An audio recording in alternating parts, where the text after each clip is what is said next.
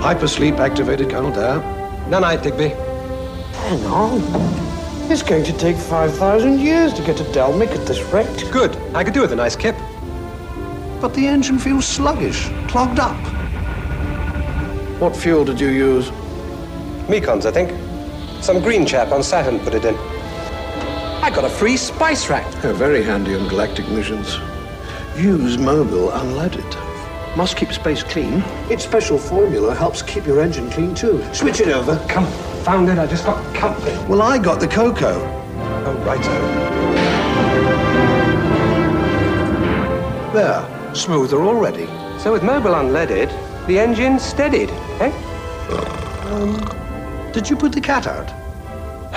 You clop, Digby.